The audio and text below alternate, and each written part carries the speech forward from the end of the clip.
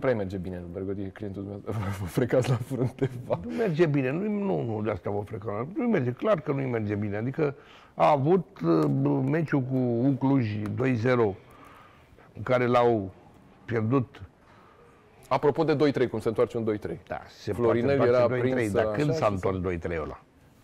Pe S-a când? întors Aici în vedem deplasare, minutele. S-a întors în deplasare un 2-3, adică...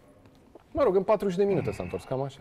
Am 40 de minute, dar nu 7 30 minute. a avut Dorin. Dar nu în 7 minute. Dorinel, cum i-a zis, nu știu cine i-a zis. A, așa. Da. Deci Bergodi nu prea... Păi, nu e clar că nu merge prea bine? Nu, nu merge. Da, asta e, uitați, uh, asta e viața de antrenor. Nu tot timpul, uitați, cine? Șumudică. S-a dus, a avut două, trei victorii la rând, a pierdut primul meci, a avut trei victorii la rând, dar două înfrângeri. Asta e, nu poți să pui, s-a dus în câteva luni să faci totul, totul. Eu spun, am și spus de la început, că nu cred că Rapid este echipa care lupta pe titlu, anul ăsta, e o echipă care va, își dorește, cred eu, din ce vă văd, să crească, să și facă o echipă competitivă. Deocamdată nu sunt, nu, nu este o echipă competitivă.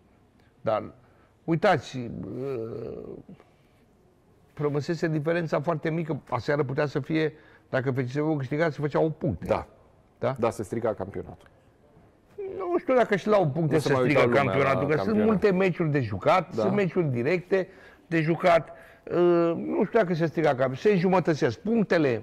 Nu e, nu e încă. Încă e de la, la play-off. Dacă ajungi la, când ajungi acolo și se joacă, rămâi o diferență de 8 puncte în play-off e, sau de 4, de 4-5, este diferență. E o diferență, Ce diferență a avut uh, CFR-ul și a pierdut campionatul? Nu e, nu e așa.